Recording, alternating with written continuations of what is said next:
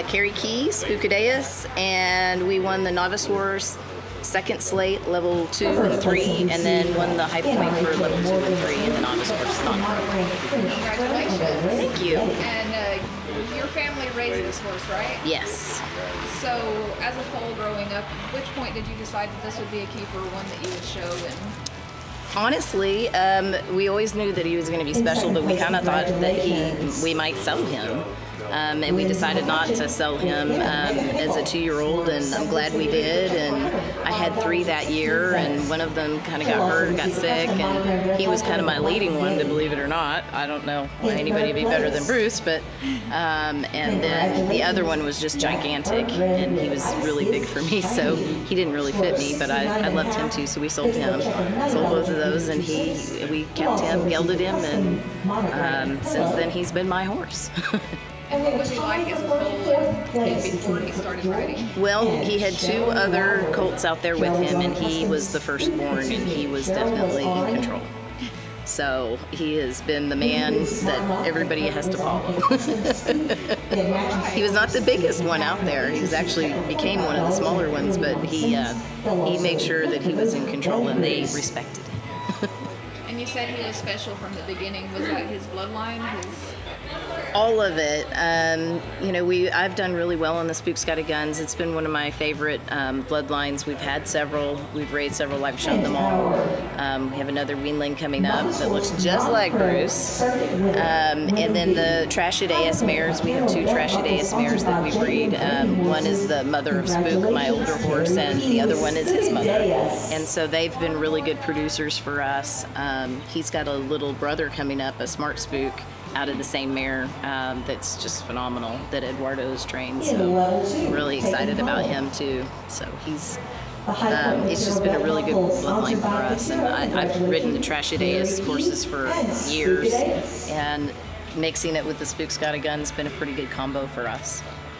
Very cool. Um, well, how was today's run different than a couple days ago Uh, we marked the same, but I will say that I feel like it was a way better run, and I, I worked on him. It was show schooling. I mean, I, I worked on our rundowns and worked on some stuff I needed to work on, and I feel like I did a lot better for him this time. Um, I was this is really felt like one of my better runs ever on him. Really, um, he was he was right there with me. We got up at six this morning to ride. It was well, I got up at five, but we came out here about six six thirty, um, just because I hadn't been able to have the pen to myself and work on some stuff that we needed to work on from before. Um, so it was a little early morning for us, but um, it was it obviously was good work for us. and you were first in the pen today. I mean, what was your game plan? Yes. Well, I thought I was I was draw two, so I thought I had at least one, and then it was us. So we trotted a couple circles and went in, and um, I'm normally a morning person. I do think I'm dragging a little bit this morning. I had to kind of like pep myself up to get in there and, and get it done, but. Um, I just tried to stay smooth and focused and remember all of the things I needed to work on and just one maneuver at a time. And Brian was out here coaching me, and that helped too. That's great. Um, I'll give you another opportunity to thank anyone that would like to. Brian, Nike, Eduardo, Cody, um, the whole Brian Bell staff. Um, my mom's home taking care of everything. We couldn't do this without her. Um, it's they've they've been awesome. Southwest um, Reining Horse Association. They're giving wonderful prizes. They're amazing to work with. Um, I love the show every year. I've, I've been pretty happy, been pretty successful here, and um, their their sponsors and their prizes are different than anywhere you know, they go out and really kind of handpick some different stuff, and I, I, just really appreciate them and all their hard work. And everybody around here, the whole staff is wonderful, and I know they're working hard. Amanda, it's a pleasure to be here tonight representing Markel. I am Frank Costantini, the Director of Western Disciplines.